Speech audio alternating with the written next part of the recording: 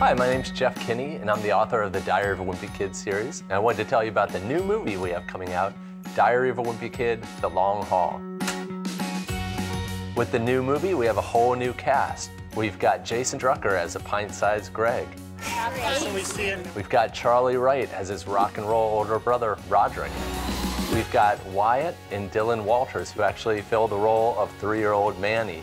We've got Tom Everett Scott, who plays the beleaguered dad, and the lovable Alicia Silverstone, who plays Susan Heffley.